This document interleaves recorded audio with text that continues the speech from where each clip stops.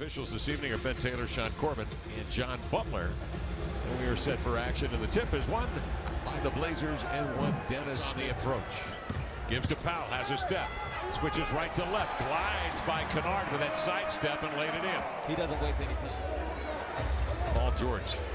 One dribble turn. Fires and hits. Man, that was impressive. Kennard 2 of 3. The Clippers 4 of 10 from 3. McLemore over to Powell. Pump fakes and fires and drilled it. He started the home run trot before that. Snell to the end line. Nice pass. Snared by Dirk.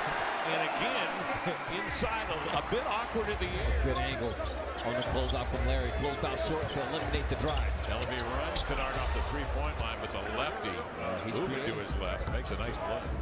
Flips to Powell. Looks at the clock. He's got 11 to shoot. Plenty of time. Swerving to the nail. Fires and hits.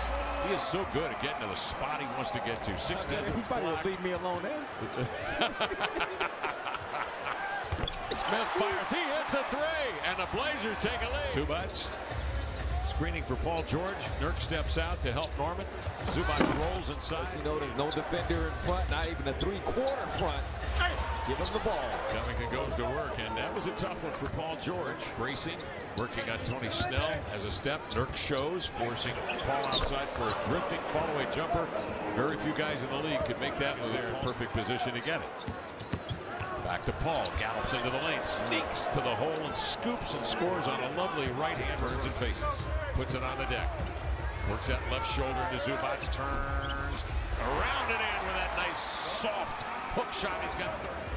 Paul George, head down, shoulders leaning, right to the cup for the two-hand delivery. Make Paul George see bodies. George crosses, sweeps it right back to Larry Nance. It sticks a tough shot. Blazers go to 11 and 14 on the season, 10 and 4 here at home.